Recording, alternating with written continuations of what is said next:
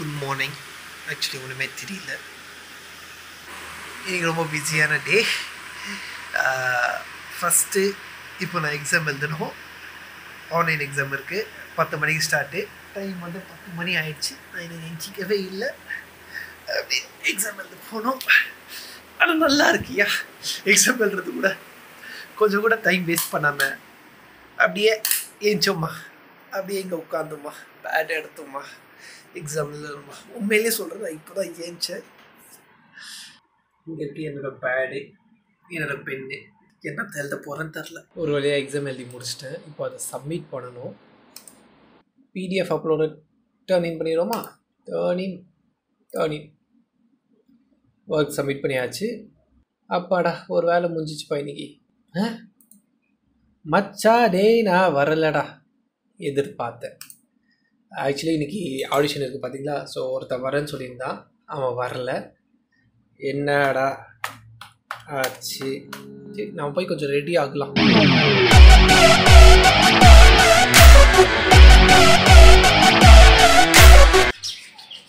Exam முடிச்சுட்டு பல்லு விளக்குற சுகம் இருக்குது பார்த்தீங்களா அது விளக்குறதும் தான் தெரியும் அந்த சுகம். முதல்லலாம் பத்து மணிக்கு எக்ஸாம்னா எட்டு மணிக்கே எழுச்சி அவசர அவசரமாக ரெடி ஆகி காலேஜ் போய் முடிச்சுட்டு வீட்டுக்கு வரத்துக்குள்ளே போதும் போதும்னு ஆகிடும் ஆன்லைன் எக்ஸாம் இருந்ததுனால பத்து மணிக்கு எக்ஸாமு ஒம்பது ஐம்பத்தஞ்சுக்கு எழுச்சி பொறுமையாக டெஸ்ட்டில் உட்காந்து எக்ஸாம் எழுதுறது சுகமே ஒரு சுகம் தாங்க. அது எழுதுறவனுக்கு தான் தெரியும். ஆக்சுவலி இன்றைக்கி ரொம்ப நிறைய ஒர்க் இருக்குது எக்ஸாம் முடிச்சிட்டேன். இப்போ இன்னொரு இடத்துல ஆடிஷன் ஒன்று இருக்குது சலார் மூவி ஆடிஷன் அது முடிச்சதுக்கப்புறம் திருப்பி வீட்டுக்கு வந்து ஒரு வீடியோ எடிட்டிங் இருக்குது அதுக்கப்புறம் ஒரு ஃப்ரெண்டோட பர்த்டே நைட்டு போய் கேக் வெட்டணும். அதுதான் ஒருத்தர் கால் பண்ணலாம். நடுவில் கட்டாச்சு தனியாக போனால் போர் அடிக்குமே. எவனாவது கூட வரணும். ஹை ஸ்ரீ கொஞ்சம் கூட டைம் இல்லாமல் நான் இருக்கேன். என் ஃப்ரெண்டு ஒருத்தன் வெளியே வந்துட்டான். ஸோ அவன் பிரெயின் வாஷ் பண்ணி சக்ஸஸ்ஃபுல்லாக வராதவனை வர வச்சிட்டேன்.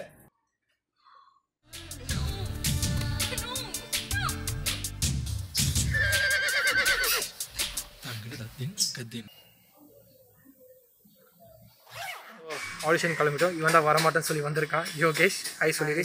ஹாய் ஹாய் நல்லா சொல்லிடுறான். ஹாய் ஹாய் சோகா சொல்றியா மச்சி?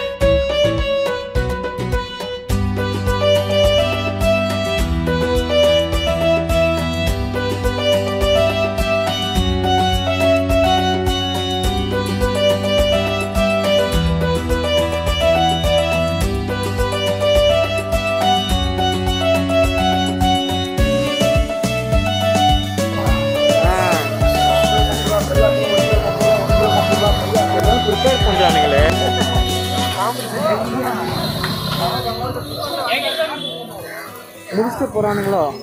ஆமாம் இதெல்லாம்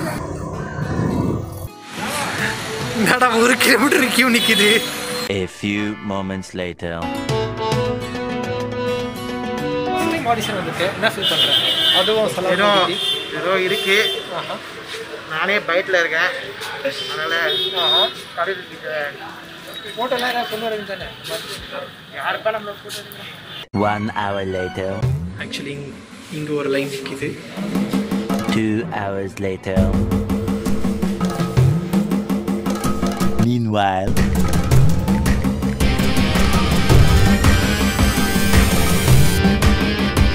One extremely annoying shift later. நாலாவது ஒரு கியூ இத்தனை ஸ்டேஜ் தாண்டி தாண்டா ஆடிஷன் பண்ணுமாடா என்ன பண்ண முடியும் எல்லாம் விதி வெறும் பத்து பத்து ரோலுக்கு இவ்வளோ பேர் வந்து ஆறு நைன் ஹண்ட்ரட் மேலே தாண்டி ஆச்சான். இந்த கொடுமை எங்கே இருக்குது சொல்லுங்க பாப்போம். பத்து பேர் உனக்கு தெரியுமா? நீ டேரக்டரா யாரும் அது வேற யாரும் இல்லை நான் தான் சொன்னேன்.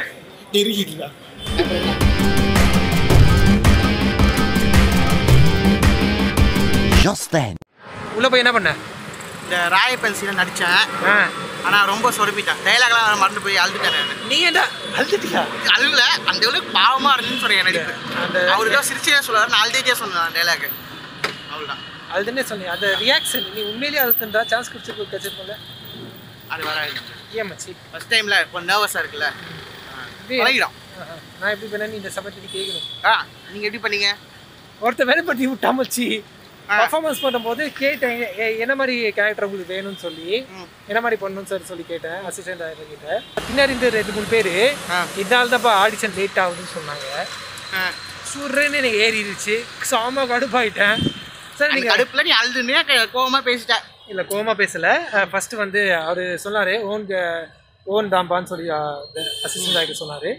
நான் வந்து சரி ஓகே சார் போகலாம் சார் சொல்லி ரெக்கார்ட் பண்ண சொல்லி ஃபஸ்ட்டு வந்து கொஞ்சம் கெஞ்சுற மாதிரி அழுது கெஞ்சுற மாதிரி அதுக்கப்புறம் கோவமாக கேட்குற மாதிரி அவரை கேட்டு முடிச்சுட்டு நல்லபடியாக முடிச்சு வந்துட்டேன். ஒரு எக்ஸ்பீரியன்ஸ் தேவை? என்னடா எக்ஸ்பீரியன்ஸு ஓட நல்லா சான்ஸ் எனக்கு கேக்குறேன் நான் எனக்கு சொல்றேன். உனக்கு எக்ஸ்பீரியன்ஸ் தான்டா. சரி எங்கே. போகலாம் டீ கடைக்கு போகலாமா இல்லை உங்கள் வீட்டுக்கு போகலாமா டீ கடைக்கு போயிட்டு அப்புறம் வீட்டுக்கு நீ தான் போய் பண்ணுற ஆ ஓகே. ரெட்டியாக இருக்கட்டா இதான் ஹோட்டலுக்கு போகிறாரு காவடி டீ கடை. எப்போ ஆடிஷன் முடித்தாலும் இங்கே வந்து நான் டீ குடிக்கிறது வழக்கம். நான் மட்டும் இல்லை என்னை மாதிரி எத்தனை பேர் ஆடிஷன் அட்டன் பண்ணாலும் இங்கே வந்து தான் டீ குடிப்பாங்க?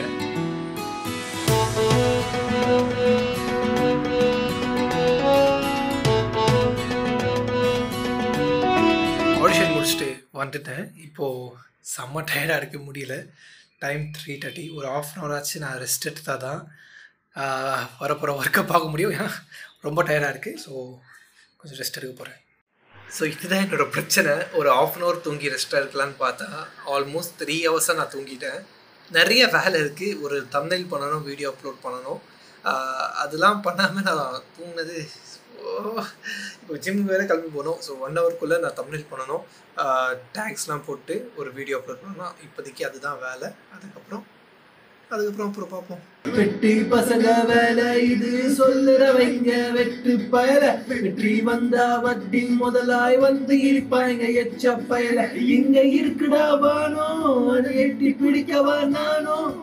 எங்க இருக்குடா தூரம் கிட்ட போக போக அது மாறும் மனிதன் போன பாதையை மறந்து போகலாமா? ஓகே தம்னைலு டேக்ஸு டிஸ்கிரிப்ஷன் எல்லாம் போட்டாச்சு. அப்படியே நம்ம சேவ் சேஞ்ச் கொடுத்து ப்ரீமியர் போட்டுற வேண்டிதான். அவ்வளோமாடா இன்னைக்கு வீடியோ ரிலீஸு நாளைக்கு என்ன பண்ண பண்ண தெரில ஆ vlog இருக்கு. vlog போட வேண்டியது தான் டைம் எட்டு மணி ஆயிடுச்சு ஜிம்முக்கு ஏழரை மணிக்கு நான் போகணும்னு நினச்சேன். ஆஃப் அன் ஹவர் லேட்டு போலாமா வேணாமா போலாமா வேணாமா போலாமா வேணாமா. போவோம். பாடி மெயின்டைன் பண்ணோம்ல போய் தானே ஆகணும். செம்மையா மலை பெஞ்சு இப்போ தான் ஓஞ்சிருக்கு. மழை கூட பார்க்காம ஜிம்முக்கு வந்திருக்கேன். அவ்வளோ டிடி கஷன் எனக்கு.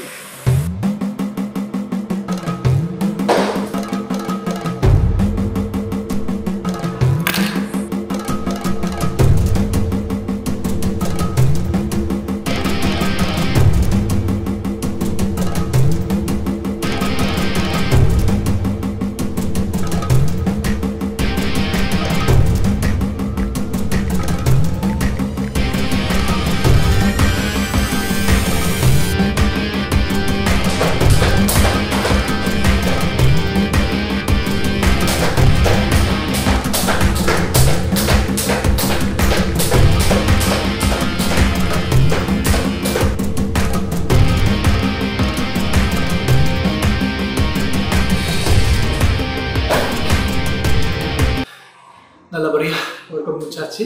எனக்கு ரெண்டு வேலை இருக்குது ஆனால் ரெண்டு வேலையில் ஏதாவது ஒரு வேலை தான் என்னால் பண்ண முடியும். இப்போ பிக் பாஸ் பார்க்கணும். பிக் பாஸ் பார்த்துட்டு ஒன்று நியூ நார்மல் ஷோ பண்ணணும் அப்படி இல்லைன்னா ஜெகன் என் ஃப்ரெண்டு ஸோ அவனோட பர்த்டேக்கு அவனுக்கு பன்னெண்டு மணிக்கு போய் அவன் வீட்டில் போய் விஷ் பண்ணலான்னு இருக்கேன். எது பண்ண போகிறேன்னு தெரியல. ஆனால் ரெண்டு இதில் ஏதாவது ஒன்று கண்டிப்பாக பண்ணியிருப்பேன். ஸோ எஸ் நான் வந்து கொஞ்சம் வெளிச்சமாக இருக்கு. இங்கே வந்துடுறேன். என் மச்சான் பர்த்டே ஸோ அவனை பார்க்க தான் போகிற பண்ணணும் விஷ் பண்ணேன் வீட்டில் சொல்லாமல் போகிறேன் கண்டிப்பாக இந்த வீடியோ என் அப்பா அம்மா பார்ப்பாங்க. அப்பா மம்மி சாரி ஃபார் தட் சொல்லாமல் போகிறதுக்கு பட் சொல்ல நீங்கள் விட மாட்டீங்க. பெஸ்ட்டு ஃப்ரெண்ட்ஸ் ஸோ அதனால தான் போகிறேன் டோன்ட் டேக் மீ ராங் கண்டிப்பாக இந்த வீடியோ ரிலீஸ் ஆனதுக்கப்புறம் எனக்கு பெரிய திட்டு இருக்குது ஐ நோ தட் பட் சும்மா ஒரு பத்து நிமிஷம் தான். பக்கத்தில் தான் இருக்குது வீடு. ஸோ போயிட்டு ஒரு ஹாய் ஹலோ சொல்லிட்டு வந்துட போகிறேன் ஸோ கிளம்பலாம். நமது ராஜதந்திரிகள் அனைத்தும் வீணாக்கி போய்விட்டதே. ஒரு கருத்தை பார்த்தீங்கன்னா நாய். அந்த நாய் என்னை மாட்டி விட்டுருச்சு. ஒருத்தன் வெளியே போகிறான் அவனை கால் அடி அவனை புடின்னு சொல்லி எங்கள் அம்மா பையிட்ட கத்தி கத்தி கத்தி மாட்டி விட்டுருச்சு. டேய் உனக்கு என்னதான் நான் துரோகம் பண்ண? டேய் இப்போ சோறு வைக்கிறல்லடா. ஏன்னா என்னை மாட்டி விட்ட? கைஸ் இந்த வீடியோ பார்க்குறவங்களுக்கு யாராவது அந்த நாய் வேணுமா? ப்ளீஸ் எடுத்துகிட்டு போயிட்டுருங்க என்னோட எல்லா விஷயத்தையும் அது பிடுங்குது. I can tolerate it so anyways இப்போ ஸ்ட்ரெயிட்டாக இங்கேருந்து நம்ம ஜிம்முக்கு ஷிஃப்ட் ஆகிறோம் ஏன்னா அங்கேயே நான் எண்டு ஸ்பீச் கொடுத்துட்டேன். வீடியோ முடிக்கிறதுக்கு முன்னாடி வெயின்ஸ் ஜிம்க்கு ரொம்ப பெரிய டேங்க் பண்ண ஆசைப்பட்றேன். இந்த ஜிம்மோட in charge Arshad thank you so much brother நான் எப்போ என்ன வீடியோ எடுத்தாலும் கொஞ்சம் கூட அப்ஜெக்ஷன் எல்லாமே எடுத்துக்கோன்னு சொல்லி கொடுப்பாங்க. So thank you so much உங்களுக்கு. அண்ட் பார்த்தவங்களுக்கும் ரொம்ப ரொம்ப நன்றி. வீடியோ பிடிச்சிருந்தா லைக் பண்ணுங்கள் ஷேர் பண்ணுங்கள் அண்ட் மறக்காமல் சப்ஸ்கிரைப் பண்ணுங்கள் பக்கத்தில் பெல் ஐக்கான் இருக்கும். அதை கிளிக் பண்ணுங்கள் அடுத்து வரப்போகிற வீடியோக்கான அப்டேட் உங்களுக்கு வரும்.